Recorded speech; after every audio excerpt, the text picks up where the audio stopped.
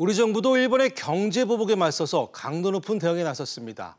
한일 군사정보 보호 협정, 즉 지소미아 종료와 일본을 화이트리스트에서 빼기로 했는데요.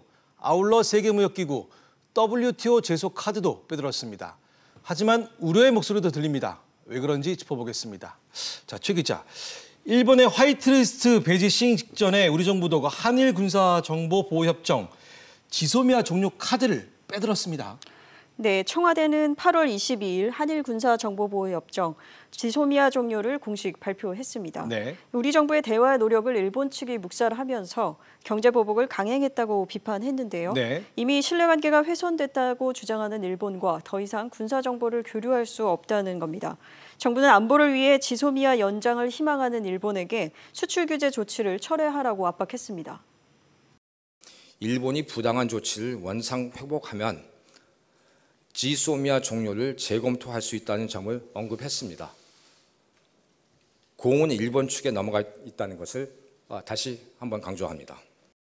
하지만 일본은 한국의 수출 규제와 지소미아 종료는 별개의 문제라면서 예정대로 한국을 화이트리스트에서 제외했습니다. 자, 그래서 우리도 일본을 화이트리스트 명단에서 제외하는 맞불 작전에 돌입했습니다. 네, 우리 정부도 칼을 빼들었습니다. 네. 지난달 14일 일본을 화이트리스트에서 제외하는 전략물자 수출입고시 개정안을 입법 예고하고 지난 3일까지 의견 수렴을 거쳐 규제개혁위원회 심사도 끝났는데요. 이제 본격적인 시행만 앞두고 있습니다. 일본 정부는 일본을 수출 심사 우대국에서 빼는 근거와 세부 내용을 밝히지 않고 시행하면 근거 없는 보복이라며 반발하고 있는데요. 예. 정부는 일본이 우리에게 그랬듯이 수출 관리 강화 차원이라며 일본과의 대화 창구는 열어둔 상태입니다.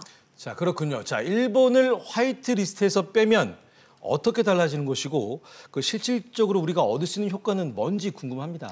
네, 일본을 수출 심사 우대국인 가군에서 빼서 신설된 가의 2군에 넣고 별도로 관리하겠다는 겁니다. 네. 이렇게 되면 일본 기업은 3년에 한 번씩 허가를 받으면 됐던 절차가 1년에 한 번씩 개별 허가로 바뀌고 심사 기간도 15일로 늘어납니다. 시행되면 일본은 1,735개 품목을 수입하기 까다로워지는데요. 예. 전문가들은 이런 맞불 작전이 국내 산업계에겐 기회가 될 수 있다고 내다봤습니다. 전문가 이야기 들어보시죠. 일본에 대한 의존도를 줄이자고 하는 그러한 이제 시도들이죠. 최근에 몇몇 어, 일본에서 어, 수출을 통제하려고 하는 그런 부분에서 국내에서 그런 이 원료라든지 그런 것들을 이제 자체 생산하려고 하는 네. 그런 식으로 어, 내 산업계가 음. 그 어, 전환을 해 나가기 시작을 했죠. 장기적으로 볼 때는 음. 어, 양국 간의 교역 네. 관계를 네.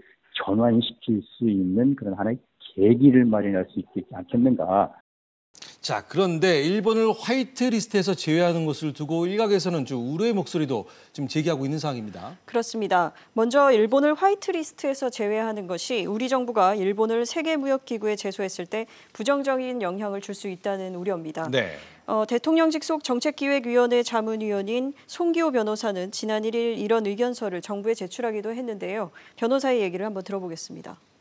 우리가 그러면 지금 단계에서 일본을 제외를 하게 되면 일본 이야기하고 있는 안전보장 무역 관리 그 범위 내에서 운용되는지를 아직까지는 우리가 검토하고 확인할 수 있는 상황은 아니잖아요. 자칫 일본이 제외했기 때문에 우리가 제외, 우리도 제외한다. 오해, 그러나 또 위험성이 있는 것이죠. 일테면은 어, 옆집에서 우리 집에 돌을 던졌다고 해서 우리가 바로 그 돌을 그대로 던져서 문제를 꼭 해결해야 되는 건 아니거든요.